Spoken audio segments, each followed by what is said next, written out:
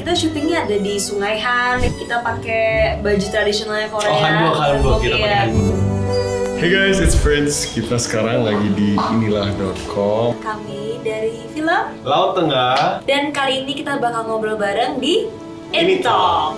Haya ini seseorang punya pendirian kuat. Dia yakin nanti suatu saat dia akan menemukan kebahagiaannya sendiri. Choi Hanil di film ini dia menjadi sosok uh, sad boy ya dari karakternya si Hanul. Dia tuh orang yang sangat-sangat baik hati. Dia tuh Korean buddy aku Ya, di selama di Korea. Kalau kesulitannya sih pasti ada banyak, ada banyak challenge. Terutama Kakim penulis bukunya dia uh, lumayan fasih berbicara dengan bahasa Korea. Jadi ketika aku ada kesulitan atau aku butuh bantuan, aku bisa selalu tanya ke dia. Terus uh, harus hafalin gestur-gestur orang Korea harus seperti apa gitu.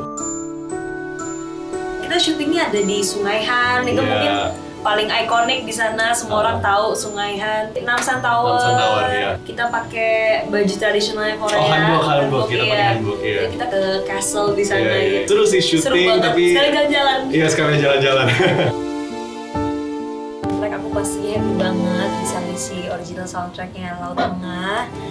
Terima kasih juga Star Vision untuk kesempatannya karena lumayan deg-degan sih ya karena udah main filmnya iya terus ngisi original soundtracknya juga iya.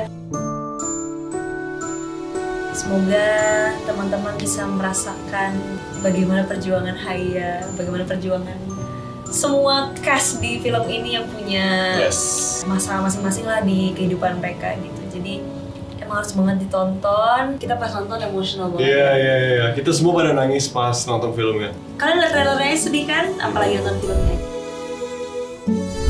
Saksikan film Laut Tengah Laut Tengah. mulai 3 Oktober 2024 di bioskop bioskop kesayangan kesayangan kamu. kamu